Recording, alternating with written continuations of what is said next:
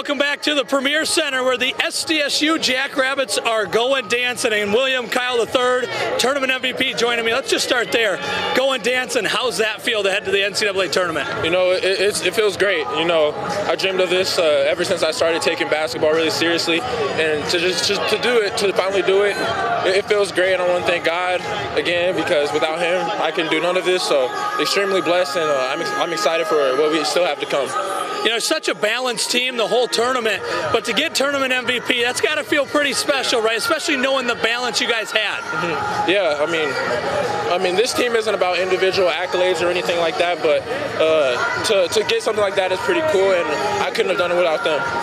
You know, everyone puts their eyes on the teams playing their best going into the tournament. Eight straight, really good game tonight. Maybe want to finish a little better, but still, you guys got me feel really good right now. Yeah, we definitely feel really good. Uh, I feel like going into this tournament, whether we were the most connected team uh, on and off the court, I feel like we really figured it out on the defensive end, and on, uh, and I feel like it translated into our offense. So uh, it feels really good, and uh, like I said before, I hope that we can keep it going. Sounds good. Thanks, Will. Yeah, thank you. Thank you. And we'll see if we can find somebody else over here to talk to. As many Jackrabbits currently celebrating, as we look behind us here, we have some celebration going on. Maybe somebody will sneak on over here.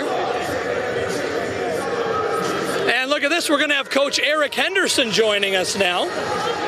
And Coach Hendo joining us live on KELO. How you doing? Well, not bad. I mean, it got a little dicey down the stretch, but all you got to do is win by one, brother. And you won by a couple more than one. That had to feel really good. But to have this crowd behind you, that's got to help, especially in those tight situations. Yeah, you know, I'm just proud of our guys. They didn't panic, you know, and uh, because they, uh, we, they they put a little run on us. You know, they banged home some shots, and I thought we lost our little bit of our focus, a little bit of our edge. But uh, fortunately, we had a big enough lead to, to hang on to, buddy. No doubt. Talk about the, just early on, the way you guys were shooting the ball. I mean, that was really fun to watch. Really moving the ball, playing really efficient. Yeah, you know, we got off to a great start. And, and I know offensively we were making shots and stuff, but I thought defensively we were really, really locked in. We were making it hard for everything that they got and getting first shot rebounds. And late, it got a little tougher, but uh, we hung in there eight straight victories going in the tournament. You guys got to feel pretty good about where you're at, especially since you're going to the dance anyway. I mean, we, we've we've grown so much. That's the beautiful thing about this group. Um, I'm an old educator. I'm still an educator at heart, right? And what, what more special thing to do than watch young people grow, and especially as a group, and that's what this group did.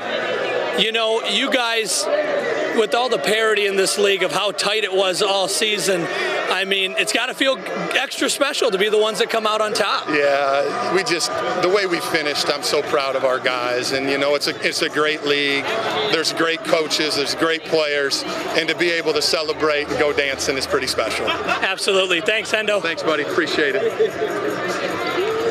Looks like we're going to get one more player here before we head off as Hendo celebrates with the family. It looks like Zeke Mayo is going to join us here on KELO. How we doing? And Zeke Mayo coming on in here. And Zeke, first of all, congratulations. How's it feel to be the Summit League champs again? It feels amazing. I mean, we obviously did it two years ago and then ended up losing in the semis last year, but it was some it was some motivation coming into this tournament this year. We understand we left a lot out there on the table last year, but um, we had a young group of guys and a lot of you know, a lot of gritty players, and you know, when we when we can get stops on the defensive end, it, it just makes it so much easier for us. You know, this game it, will humble you, and you saw that tonight. You know, you guys were playing well. A couple things don't go your way. Next thing you know, they're right into it. Um, but you finished strong, and that's what mattered. That last minute went your guys' way. Yeah, for sure. I mean, that just shows you how much talent is in this league. Like, the, there's no lead that's safe ever in this league. So.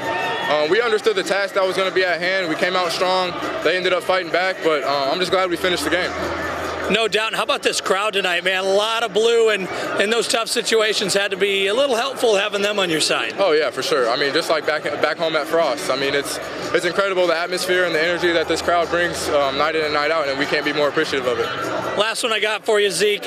You're going dancing again. That's got to feel pretty good. It feels amazing. I mean, just to be back in the big dance, it's something special, and I mean, it's honestly a once in a lifetime opportunity, and we're not going to take advantage of that. Sounds good. Thanks, Thank Zeke. You.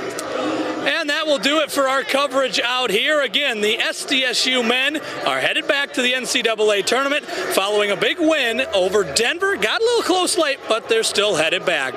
For now, reporting live in Sioux Falls, Grant Sweeter, KELOLAND Sports.